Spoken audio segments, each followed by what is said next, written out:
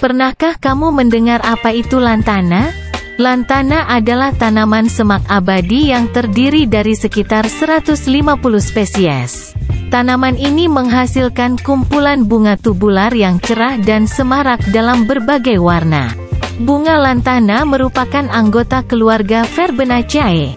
Di Indonesia sendiri tanaman ini dikenal dengan berbagai nama seperti bunga tahi ayam, saliara, atau temblekan.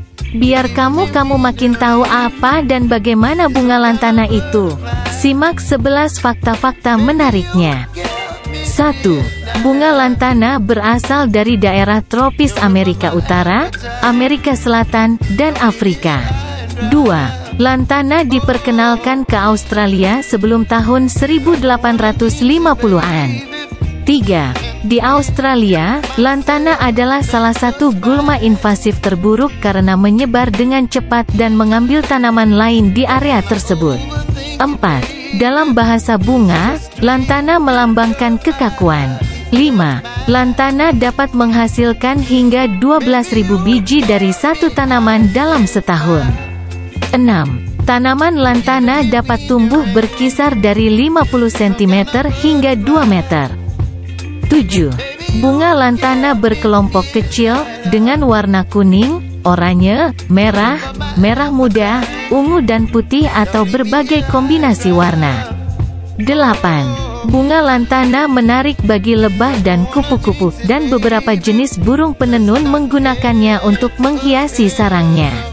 9. Bunga lantana mekar hampir sepanjang tahun tergantung pada spesies tanaman dan cuaca. 10. Daun dari tanaman lantana beracun bagi sebagian besar hewan. 11. Lantana telah digunakan dalam pengobatan tradisional untuk mengobati kondisi kulit, stres, dan tekanan darah tinggi.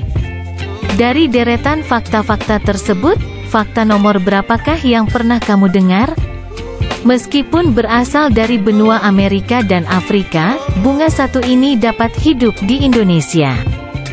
Bunga lantana banyak disukai karena mekarnya yang tahan lama dan menghasilkan banyak bunga setiap kali mekar.